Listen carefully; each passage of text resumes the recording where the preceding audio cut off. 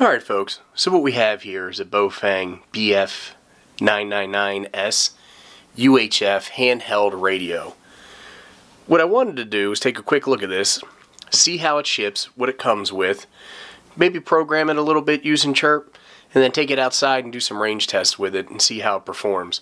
But before we do that, why don't you go grab yourself a nice cold one, come on back, and we'll get started.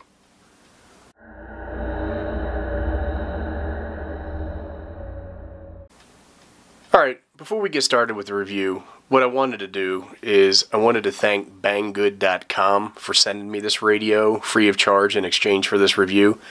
Banggood reached out to me, uh, and this is the first time I'm doing a video with uh, with them. I bought products from them in the past, and I've probably done videos on them, but this is the first sponsored video I've done they reached out and asked if I'd review some of their products, and we talked about a couple different things, and one of them was this Baofeng radio, so they sent it to me. So big thanks to Banggood. I'll put a link to their website below, along with a link to this radio, and a link to some of their other products like LED flashlights that they have on sale, and you can check those out. Anyhow, this radio came in this box, which did get a little mashed up in transit, um, but that's okay. The radio seems like it's it's, it's fine and it uh, works okay. This is uh, looks like it's made for a Chinese market. There's plenty of Chinese writing on the box itself. I think this says subscribe to the Smokin Ape channel, but I'm not 100% sure. And if you take a look on the back, there is a URL for a Baofeng radio website, but there's also all kinds of letters or symbols here that I don't know what they mean. So anyhow, let's go ahead and open this up and see how the radio shipped. The first thing that we're going to notice is a user manual, but we're not going to read that.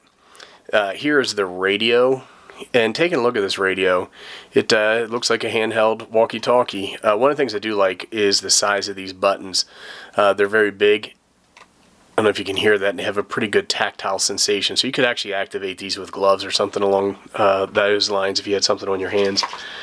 Comes with a pocket clip or a belt clip that you can attach to the back of the radio.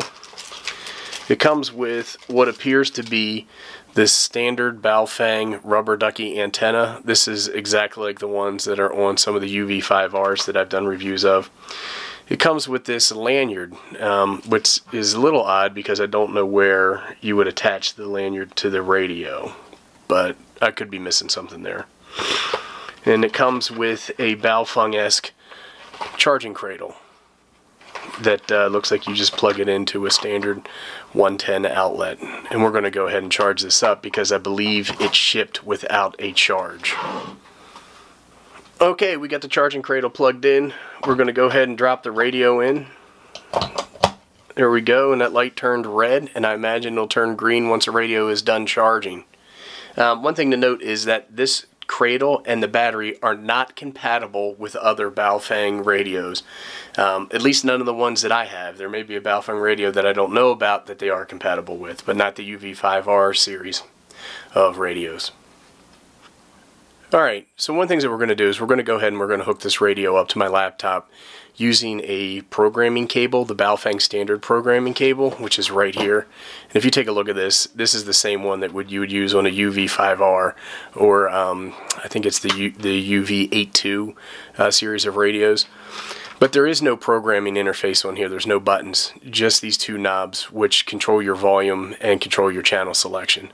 So you're going to need to hook it up to a computer to program it. Um, it does come with uh, some of the channels programmed on FRS or GMRS frequencies, but uh, as far as I'm aware, this is not a Part 95 certified radio, so it would be illegal to operate it on those frequencies in the United States.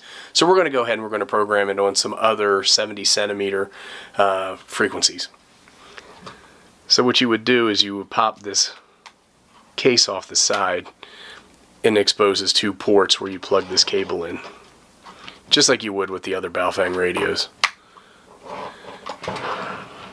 And then it has a USB plug here that uh, we're going to go ahead and plug into my laptop computer.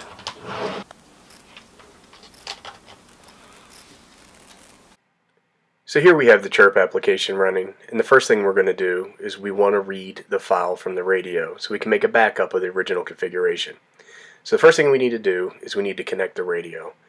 Using these drop downs I want to make sure that I'm using the right serial port which is a USB and then I want to pick Baofeng and I pick the BF888 It's electronically and mechanically the same radio. It has an upgraded case and maybe some other components, but they both work pretty much the same. You won't have any problems programming your 999S with that setup.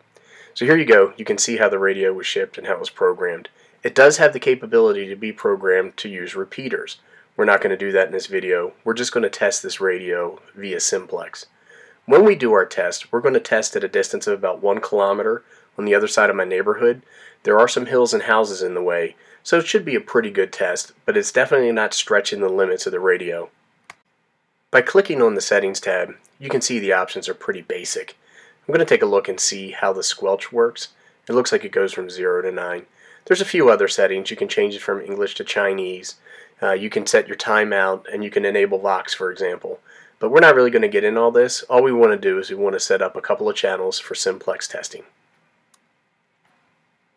So what I want to do here is I'm going to select all of the channels by using the menu and then I'm going to delete them so everything is blanked out. That way I know that the radio is programmed to my specifications and not the factory configuration.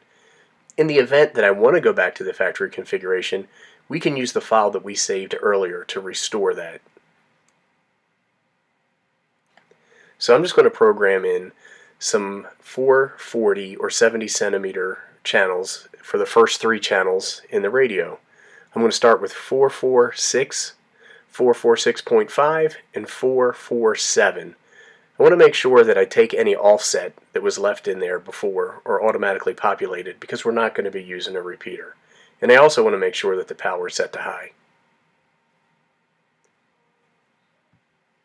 If you want to learn more about Chirp, I have a video that shows more advanced configuration settings and how to import repeater settings from Repeater Book or how to program other simplex channels.